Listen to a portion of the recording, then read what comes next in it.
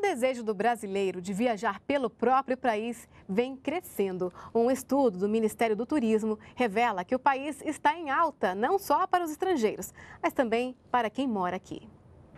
Quase 7 em cada 10 brasileiros que planejam viajar nos próximos seis meses já têm destino certo, o próprio Brasil.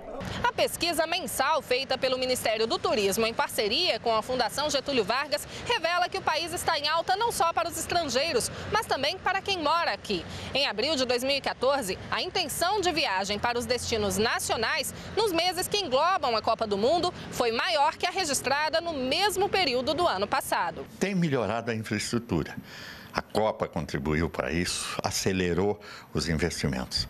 Mas o brasileiro, cada vez mais, vai procurando os atrativos turísticos brasileiros e que vão aumentando.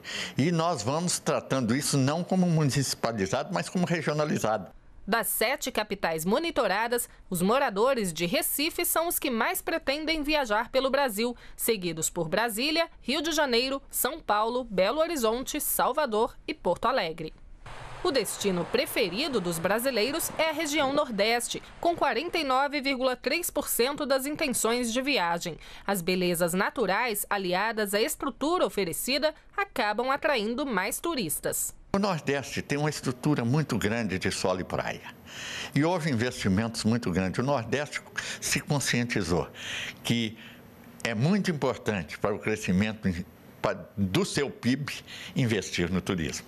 A pesquisa também revela que 81% dos viajantes têm menos de 35 anos de idade e o avião é o meio de transporte escolhido por mais de 61% dos turistas brasileiros.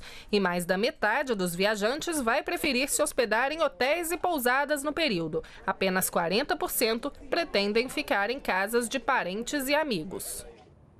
Duas mil pessoas foram entrevistadas. A pesquisa completa sobre a intenção de viagem está no site do Ministério do Turismo.